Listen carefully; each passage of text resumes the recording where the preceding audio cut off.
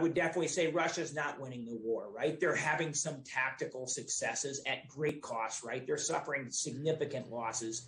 Uh, just reported on the Ukrainian losses, but uh, Russia's suffering significant losses, exhausting some of their, uh, you know, weapon systems and, and ammunition. Uh, and so you got to look at it, right? They're having a tactical success there, but that doesn't mean it'll lead to operational or strategic success.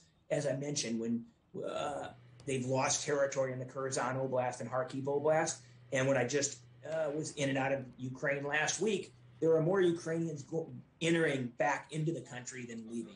So that's a sign that the Ukrainian citizens don't see this as a Russian win.